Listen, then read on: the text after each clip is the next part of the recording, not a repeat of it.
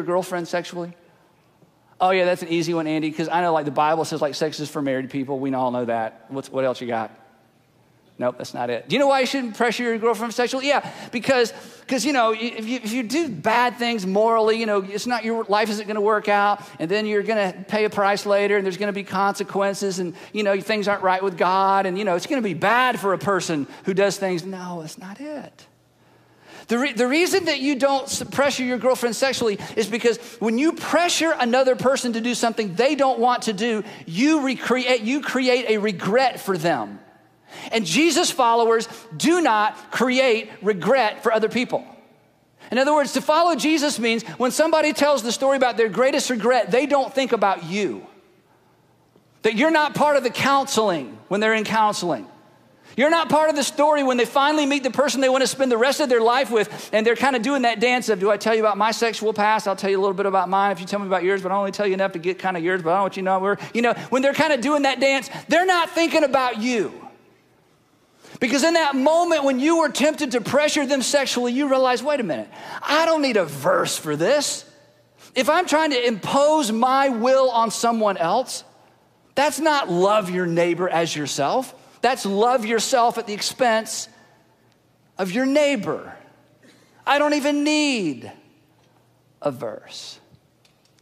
Let me get a little deeper on this. Do you know why you should never play fast and loose with your sexuality or with sex? Well, because God will punish me and there's consequences in my life. No, that's not the reason. The reason is, although there may be consequences in your life, but that's not even the primary reason. The primary reason is this if you do anything to diminish the sexual experience of another person later, you have sinned against them. And Jesus followers don't sin against other people. And they don't hide their sin against other people by whitewashing it in terms of their sin against God. God, I know I sinned against you, but I prayed that prayer and you forgave me, for, so I'm good to go. And your Savior who loves you says, Well, you may feel like you're good to go, but she's not good to go because of you. Oh. Oh. But what if, okay, okay, Andy. What if it's consensual? What if it's consensual? Oh, you got me, you know.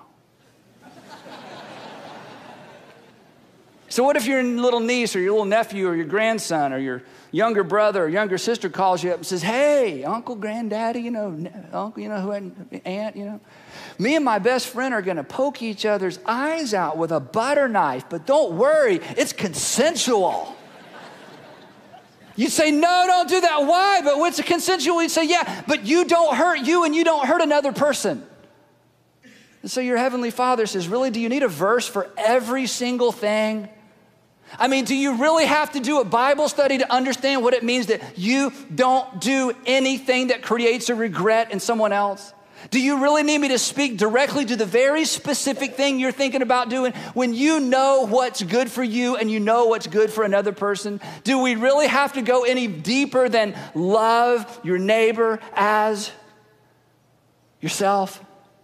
Do you need a verse for that? You see, here's the bottom line the New Testament imperatives. That's all the commands in the whole New Testament. The New Testament com- imperatives are just examples. And God didn't give us an example for everything because God didn't need to give us an example for everything. The New Testament imperatives are simply examples of how to demonstrate your love for God by loving others.